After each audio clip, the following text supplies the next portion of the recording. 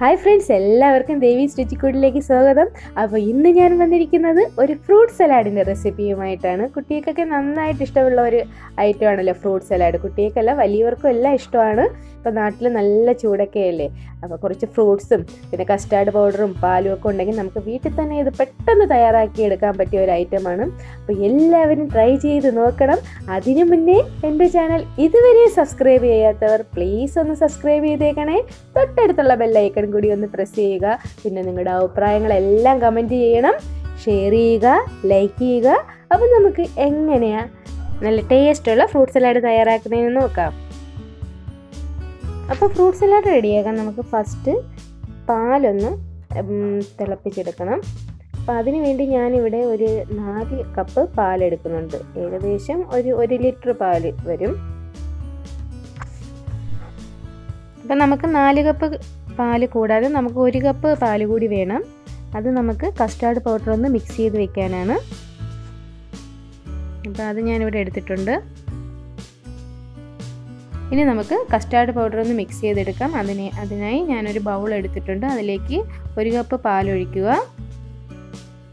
ഇനി ഇതിലേക്ക് ഒരു നാല് ടേബിൾ സ്പൂൺ കസ്റ്റാർഡ് പൗഡർ ചേർക്കുക. എന്നിട്ടിത് നന്നായിട്ടൊന്ന് മിക്സ് ചെയ്ത് വെക്കാം. പാലുമായിട്ട് നന്നായിട്ടൊന്ന് മിക്സ് ചെയ്ത് കട്ടയൊന്നും ഇല്ലാതെ നന്നായിട്ട് മിക്സ് ചെയ്തെടുക്കുക.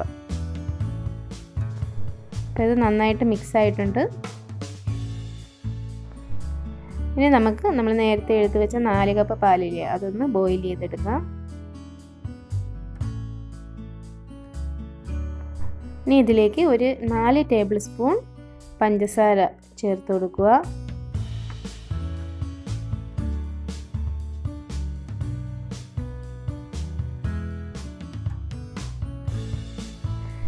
ഇപ്പോൾ നമ്മുടെ പാൽ തിളച്ച് വന്നിട്ടുണ്ട്. ഇനി നമുക്ക് തീ ഒന്ന് ലോ ഫ്ലെയിമിലാക്കിയിട്ട് നമ്മുടെ നേരത്തെ മിക്സ് ചെയ്ത് വെച്ചില്ലേ കസ്റ്റാർഡ് പൗഡറും പാലും കൂടി ആ മിക്സ് ഇതിലേക്കൊന്ന് ഒഴിച്ചു കൊടുക്കാം. അപ്പം നമ്മൾ ഒഴിച്ചു കൊടുക്കുന്ന സമയം ഇത് ഇളക്കിക്കൊണ്ടിരിക്കണം. അല്ലെങ്കിൽ ഇത് കട്ട കെട്ടിപ്പോവും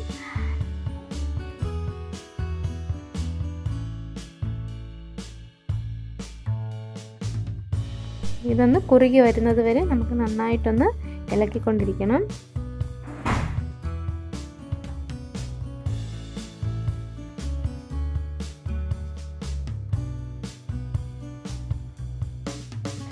അപ്പോൾ ഇത് റെഡി ആയിട്ടുണ്ട്. ഈ ഒരു പരുവം മതി.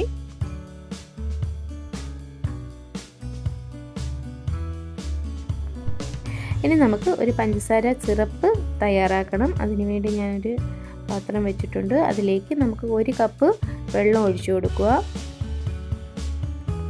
ഇനി ഇതിലേക്ക് ഒരു അഞ്ച് ടേബിൾ സ്പൂൺ പഞ്ചസാര ചേർത്ത് കൊടുക്കാം.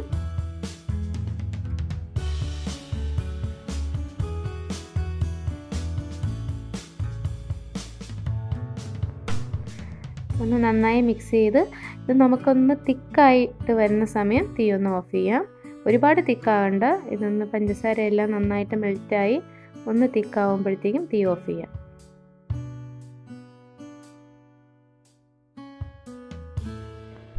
ഇപ്പം നമ്മുടെ പഞ്ചസാര സിറപ്പ് ഒന്ന് തിക്കായി വന്നിട്ടുണ്ട്. അപ്പോൾ ഇത് മതിയാവും. ഇതിനി നന്നായിട്ട് തണുത്തതിന് ശേഷം നമുക്ക് ഫ്രൂട്ട്സും വാനില എസൻസും എല്ലാം ഇതിൽ ചേർത്ത് കൊടുക്കണം. നന്നായി തണുക്കട്ടെ. അപ്പോൾ നമ്മൾ നേരത്തെ റെഡിയാക്കി വെച്ച മറ്റ് കസ്റ്റാർഡും പാലും മിക്സില്ലേ അപ്പോൾ അത് നന്നായിട്ട് തണുത്തിട്ടുണ്ട്. ഇനി ഇതിലേക്ക് നമുക്ക് വാനില എസൻസ് ഒഴിച്ചു കൊടുക്കണം.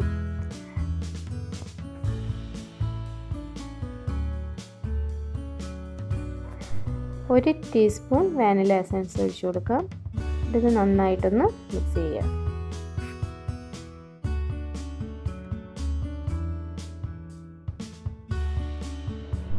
ഇനി നമുക്ക് വേണ്ടത് ഫ്രൂട്ട്സ് ആണ്. അപ്പം ഞാനിവിടെ മാതളം അതുപോലെ പഴം ആപ്പിൾ അതുപോലെ ഗ്രേപ്സും എടുത്തിട്ടുണ്ട്. അപ്പോൾ ഗ്രേപ്സ് ഞാൻ ചെറിയ പീസുകളായി കട്ട് ചെയ്തെടുത്തിട്ടുണ്ട്. വലിയ ഗ്രേപ്സ് ആയിരുന്നു. അതിന് ചെറിയ പീസുകളാക്കിയിട്ടുണ്ട്. അതുപോലെ തന്നെ ആപ്പിളും പഴവും എല്ലാം ചെറിയ പീസുകളായി കട്ട് ചെയ്തെടുത്തിട്ടുണ്ട്. അപ്പോൾ നമ്മുടെ കയ്യിൽ എന്തൊക്കെ ഫ്രൂട്ട്സ് ഉണ്ടോ അതെല്ലാം ചേർക്കാം. മാംഗോ ചേർക്കാം പൈനാപ്പിൾ ചേർക്കാം. അപ്പോൾ അതെന്താണെന്ന് നിങ്ങളുടെ ഇഷ്ടം. അപ്പോൾ നമ്മൾ നേരത്തെ തയ്യാറാക്കി വെച്ച പഞ്ചസാര സിറപ്പ് നന്നായിട്ട് തണുത്തിട്ടുണ്ട്. ഇനി ഇതിലേക്ക് നമുക്ക് ഒരു ഒരു ടീസ്പൂൺ നാരങ്ങ നീര് ഒഴിക്കണം. ഒരു ടീസ്പൂൺ നാരങ്ങ നീരും അതുപോലെ തന്നെ അര ടീസ്പൂൺ വാനില എസൻസും കൂടി ചേർത്ത് നന്നായിട്ട് മിക്സ് ചെയ്യുക. നമ്മൾ വാനില എസൻസ് മറ്റതിൽ ചേർത്തത് കൊണ്ടാണ് ഇതിൽ കുറച്ച് ചേർക്കുന്നത്. അപ്പോൾ നന്നായിട്ട് മിക്സ് ചെയ്യുക. അതിനുശേഷം നമുക്ക് ഈ ഫ്രൂട്ട്സ് കൂടി ചേർത്ത് നന്നായിട്ടൊന്ന് മിക്സ് ചെയ്യാം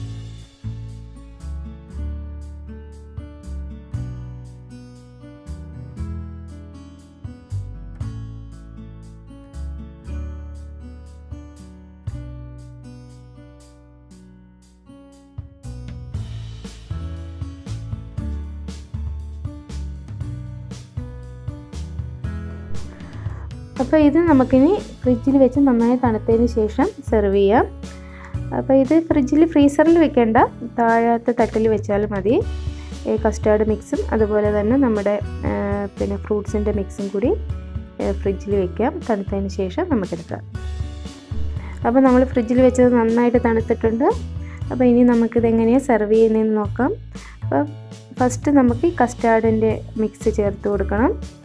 അതൊരു ബൗളിന്റെ ഏത് ബൗളാണോ എടുക്കുന്നത് അതിന്റെ ഹാഫ് പോർഷൻ വരെ ചേർത്താൽ മതി. അത് കഴിഞ്ഞിട്ട് പിന്നെ ഫ്രൂട്ട്സിന്റെ മിക്സ് ചേർത്ത് കൊടുക്കാം. അപ്പോൾ നമ്മൾ ഫ്രിഡ്ജിൽ നിന്ന് എടുക്കുമ്പോൾ ഈ കസ്റ്റാർഡിന്റെ മിക്സ് നന്നായിട്ട് കട്ടിയായാണ് ഇരിക്കുന്നതെങ്കിൽ മിക്സിയിലിട്ട് ഒന്ന് ഒന്ന് വിപ്പ് ചെയ്താൽ മതി.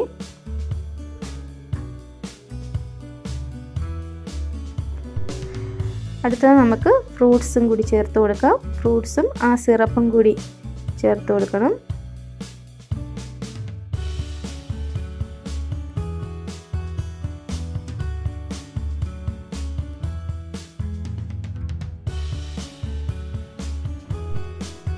ഇനി ഇത് ഒന്ന് നന്നായിട്ട് മിക്സ് ചെയ്യുക. അപ്പോൾ ഇത്രയേ ഉള്ളൂ പണി. നമ്മുടെ ഫ്രൂട്ട് സലാഡ് റെഡിയായി